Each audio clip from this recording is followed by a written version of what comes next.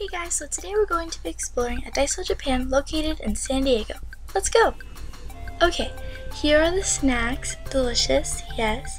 Here are adorable notebooks perfect for putting your most cutest and most kawaii thoughts down. Ooh, colors. Here's a closer view of them. Cute, cute. This one I think would be perfect for a sweet Lolita. Here are boxes to put your gifts in, and these ones actually fold open so you can put treats in them. Here are plushy phone stands or phone resters.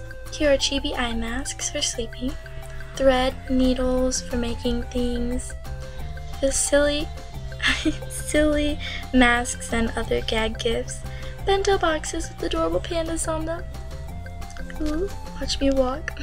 Here are some stationery, and here are those decorative deco erasers. Here are hard-boiled egg thermometers, some doggy things, and some silly English.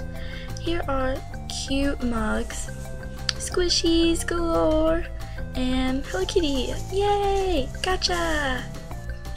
Naughty chicken. ooh, ooh. Oh, I got clean, but I still like it. So cute. Okay, thank you for watching and please stay tuned for my haul of all the stuff I got. Bye!